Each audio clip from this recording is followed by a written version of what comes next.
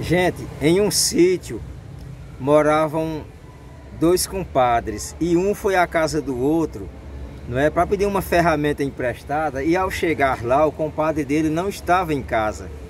Estava apenas a sua esposa varrendo o terreiro, não é?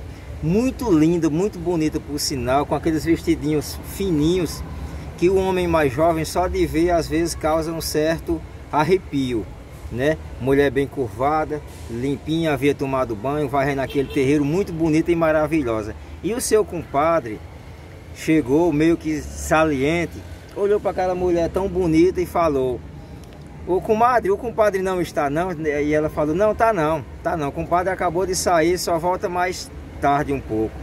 "Por quê, compadre?" E ele disse, comadre, antes eu queria te dizer uma coisa, eu não sei se eu digo, eu botava o chapéu, tirava. E ela, diga, compadre, pode dizer. O que é que está acontecendo? Disse, comadre, você é uma mulher muito bonita, linda, maravilhosa, comadre. E ela falou, compadre, você acha isso realmente de mim? Comadre, demais. Você é a coisa mais linda que eu já vi no mundo.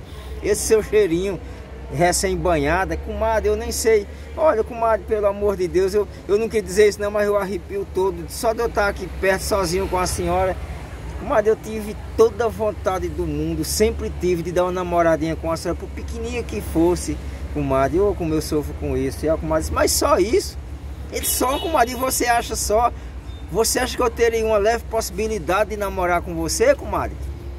Ela falou, sim, compadre, toda hora do mundo, eu não acredito não, comadre, eu ganhei na Mega Sena com uma história dessa que você tá me dizendo. Eu poderia namorar contigo, comadre? Ele, sim.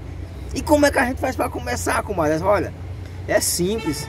Eu vou falar com meu marido, que é o seu compadre, pessoa essa que gosta muito de você e que você deveria respeitá-lo e muito. E se ele concordar, depois que eu pedir para ele, a gente dá essa namoradinha, compadre. Ele, não, comadre, eu tava brincando, pelo amor de Deus. Não me leve a mal, comadre, pelo amor de Deus, não me leve a mal não, comadre. Deixa isso pra lá, comadre, deixa isso pra lá, esquece isso daí, comadre, pelo amor de Deus. Não, compadre, eu vou pedir. Não, não pede não, compadre comadre não pede não e foi saindo, entrou até por um canto assim de cerca do arame farpado lá, que eu acho que ficou um bocado do couro do espinhaço dele quando ele passou, e nisso o compadre dele foi chegando. E viu ele acabando de, de, de, de passar, não é? E aí a sua esposa para se vingar e de maneira leve, tranquila, como a, a esposa inteligente sabe fazer, né? O esposo chegou e foi lhe perguntando: "O que é minha esposa aqui, meu compadre, meu irmão tava aqui fazendo, que eu tô vendo ele saindo ali desesperado às pressas daquele jeito?" Ela disse: "Não, meu marido. Ele veio aqui apenas pedir esse teu facão aí emprestado." Mas eu falei que eu não podia emprestar não, porque é herança de seu pai e você não emprestava esse facão realmente para ninguém. Disse, não, mulher, você tá maluca?